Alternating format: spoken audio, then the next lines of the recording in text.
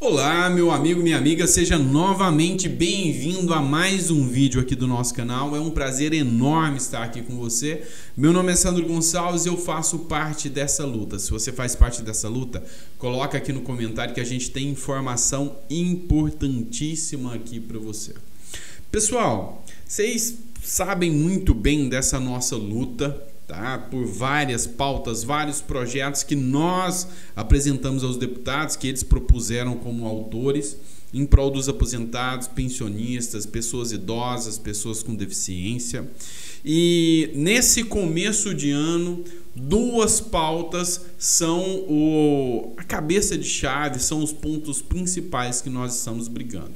Uma delas é o 14º salário para pagamento até março, para que não ocorra o adiantamento do 13º salário, e outra delas é a margem dos consignados, uma vez que de, de acordo com a lei 14.131, a margem ficou negativa.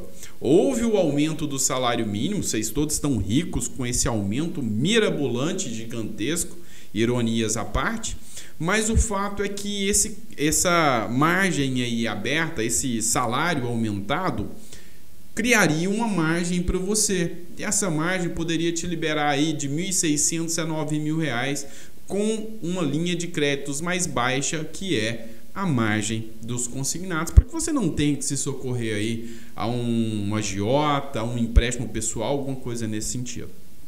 Então, a nossa batalha continua principalmente sobre essas duas pautas.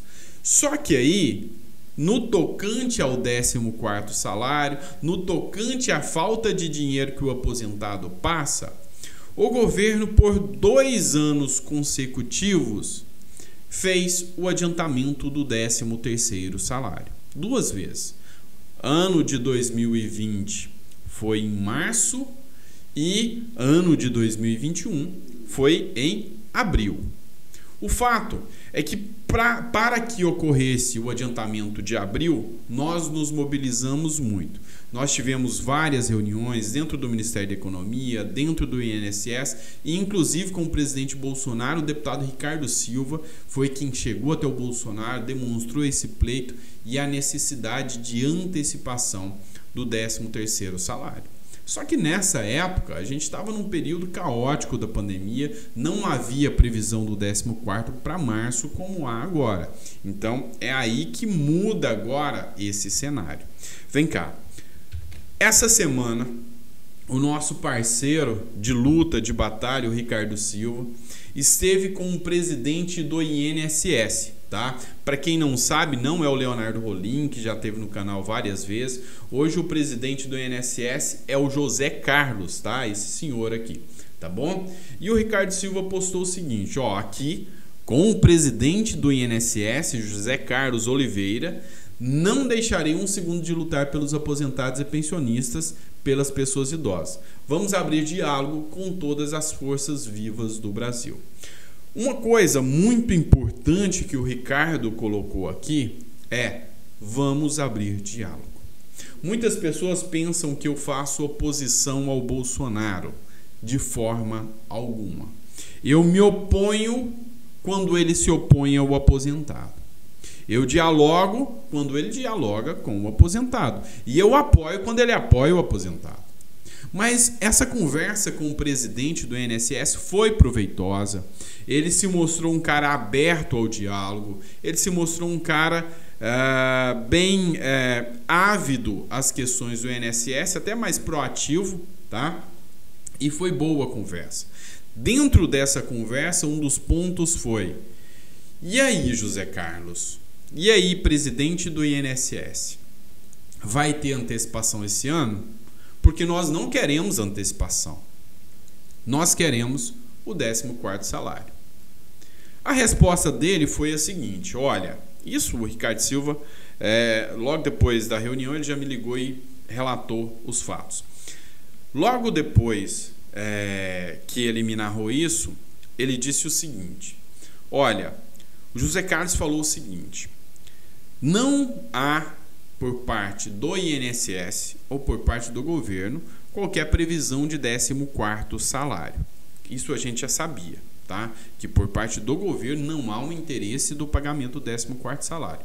Então ele falou: olha, não há essa previsão, essa projeção, é, o que eles chamam de nota de empenho ou qualquer provisão de pagamento, data prévia, não tem nada liberado do 14. Ou seja, a gente sabe que não vai vir por medida provisória, não vem nesse sentido. Mas também não há que se falar em antecipação do 13 para esse ano. A ideia inicial é que não exista antecipação do 13 para esse ano. E isso é bom, porque nós lutaremos pelo 14, tá? Nós lutaremos pelo 14. A única questão que foi colocada à prova foi a seguinte: olha, a única preocupação é essa tal de Ômicron aí, que está chegando. Aí, a depender do que aconteça, pode ser que o governo tenha que tomar alguma atitude. E a ideia é: governo, se você tiver que tomar uma atitude, que seja o 14 e não o 13 Deixe o 13 no momento certo, na época certa, de acordo com o decreto. O que pouca gente sabe é que existe um decreto, tá? Essa matéria aqui, eu vou até deixar aqui para vocês, ó, de um jornal chamado Media Max. Eu achei interessante. O título é o seguinte: O INSS tem data de pagamento do 13º e já está confirmada para 2022.